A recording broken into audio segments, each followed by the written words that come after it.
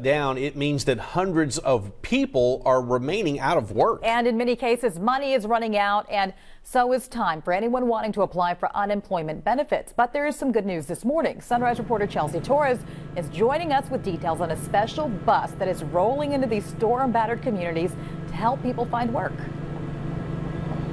Thank you, Jen. Yes, so uh, it's been about a month since Hurricane Harvey has hit the coastal bend. Many are still repairing damages and adjusting to life after Harvey, but some have lost their jobs and they're struggling to find a new one. Workforce Solutions of the Coastal Bend is going mobile to help Hurricane Harvey victims get back on their feet. This bus is their mobile unit. It's a workforce office on wheels, available for on site job searches and application assistance and it's headed to a coastal bend town near you. You know, the mission at Workforce Solutions of the Coastal Bend is to provide employment, training, childcare, youth, and business services. These are a, a nutshell of all the programs that we do provide.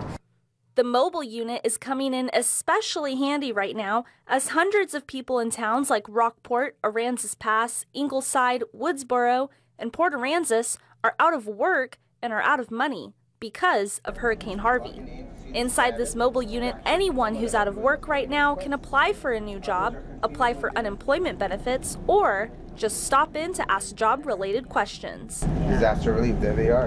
And see, we look at the requirements no education, now, this is the mobile unit that you will see around different towns. It will be in Woodsboro today and tomorrow from 9:30 to 3:30.